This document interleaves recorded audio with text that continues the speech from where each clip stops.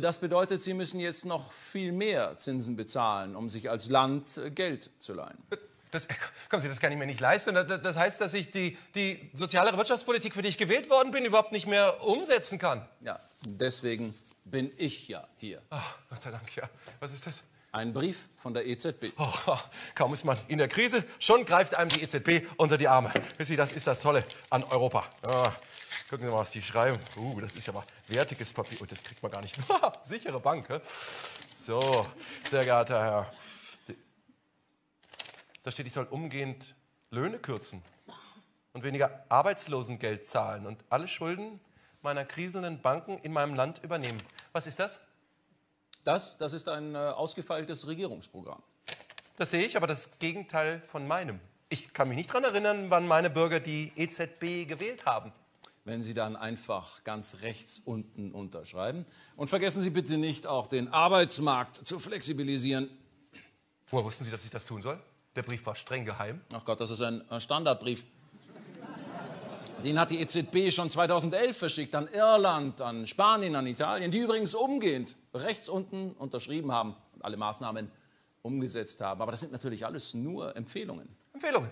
Okay, das heißt, ich kann weiterhin machen, was ich für richtig halte. Natürlich, natürlich. natürlich. Ja. Die EZB allerdings auch.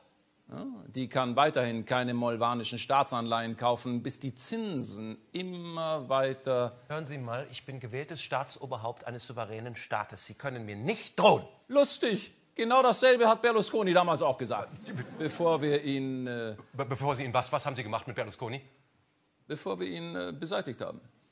Die EU hat Berlusconi ermorden lassen? Ja, und durch Phantomas ersetzt.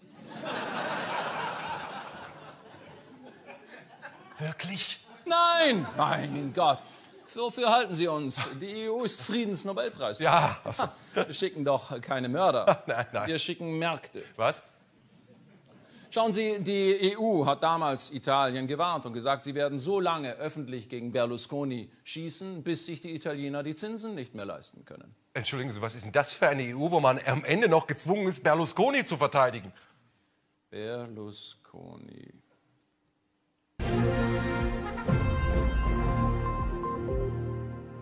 Skandal in Molvanien, wie aus einer gut unterrichteten Quelle aus dem, dem Prä Präsidentenpalast bekannt wurde, ist das politische Vorbild von Wagners Silvio Berlusconi. Die Zinsen der molvanischen Staatsanleihen stiegen nach dieser Enthüllung dramatisch. Entschuldigung, das, das, ist doch das ist gefährlicher Unsinn. So was kann man im Fernsehen doch nicht erzählen. Doch,